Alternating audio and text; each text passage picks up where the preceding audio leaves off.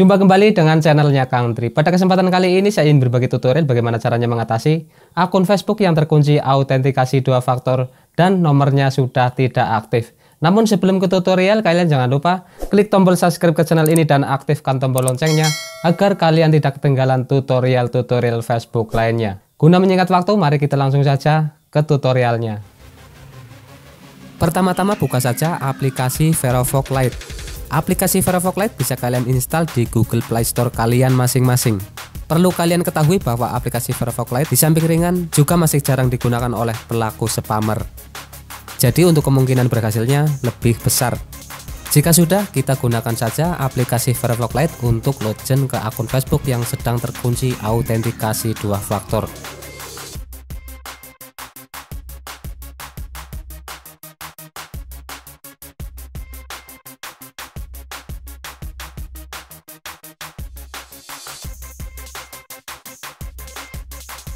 Pada halaman checkpoint kita klik tulisan ada masalah.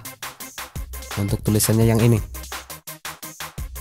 Di sini ada empat opsi yaitu saya tidak dapat menemukan generat kode, setujui dari perangkat lain, kirim saya sebuah pesan teks dengan kode masuk saya, dan yang terakhir tidak ada telepon. Jika permasalahannya karena nomor sudah tidak aktif atau hilang, kalian klik untuk tidak ada telepon. Namun jika nomornya masih aktif, kalian klik kirimi saya sebuah pesan teks dengan kode masuk saya. Pada tutorial ini saya akan coba gunakan opsi yang empat yaitu opsi tidak ada telepon karena permasalahannya nomor tersebut sudah tidak aktif. Kita checklist dan kita klik tombol lanjutkan.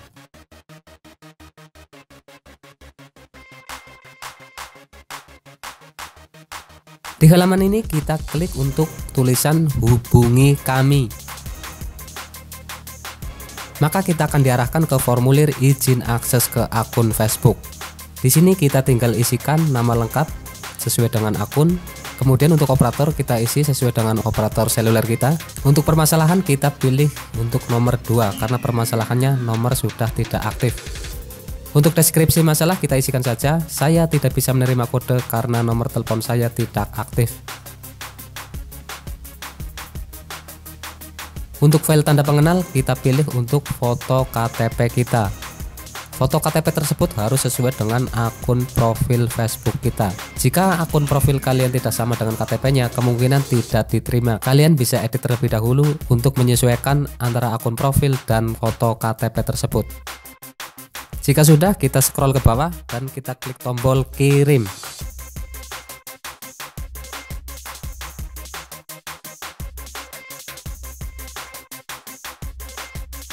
Setelah formulir terkirim, kita tunggu 1 kali 24 jam sampai 3 kali 24 jam.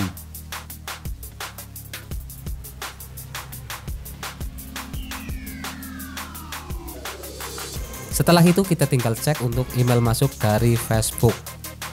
Emailnya adalah email yang terkait dengan akun Facebook tersebut. Di sini sudah ada email Facebook yang masuk. Terima kasih telah memberikan ID Anda.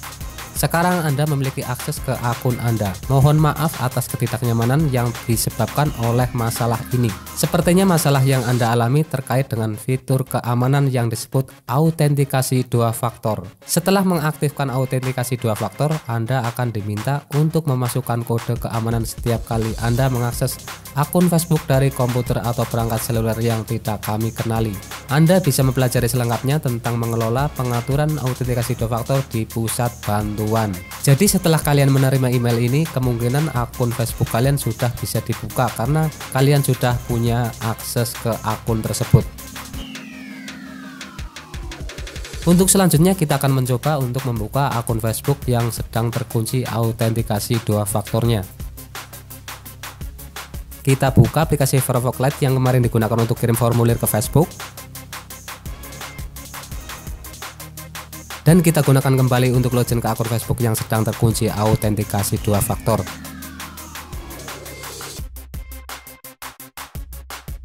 Ternyata kita berhasil masuk ke akun Facebook yang kemarin terkunci oleh autentikasi dua faktor Facebook. Jika sudah tiga hari namun masih belum bisa login ke akun Facebook kalian, kalian coba ulangi kembali untuk mengirimkan formulir izin akses ke Facebook menggunakan browser yang sama ditambah dengan aplikasi VPN menggunakan server Singapura ataupun server Pakistan.